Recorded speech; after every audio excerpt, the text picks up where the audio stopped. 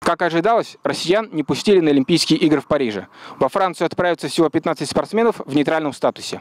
От показа Олимпиады отказался Первый канал, Россия-1 и Матч ТВ. Трансляции с участием 15 человек посчитали нецелесообразным. Впервые за 40 лет Олимпиада не будет показана на ТВ. Тогда СССР и страны Варшавского договора бойкотировали Олимпийские игры в Лос-Анджелесе в ответ на бойкот американцами летних Олимпийских игр в Москве.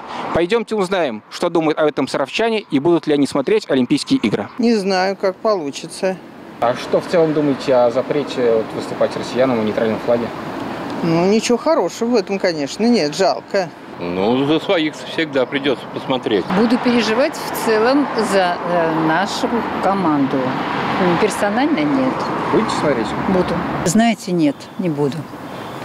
Из-за того, что нет Да. гимна. Да. Да.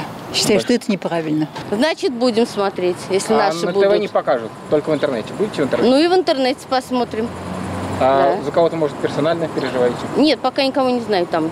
Кто там будет, не знаю. Нет, без России не А, спортсмены в нейтральном статусе будет 15 человек. Но они же не будут защищать нашу честь.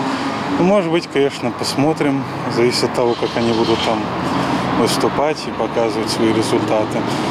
Но голосовать, скажем так, будет не, не за кого. Это печально. Не смотрю, я работаю далеко на севере. Ой, нет, честно, не буду. По телевизору. А по телевизору не покажут. Ну а куда я пойду? Я есть- больше негде мне. То есть не будете И, смотреть? и по телефону не покажут, да? А в интернете нужно искать. Ну, если найду, буду смотреть. Нет, не буду смотреть. А раньше смотрели Олимпийские игры? Нет. Конечно. Интерес к Олимпиаде не зависит от каких-то ограничений санкционного характера.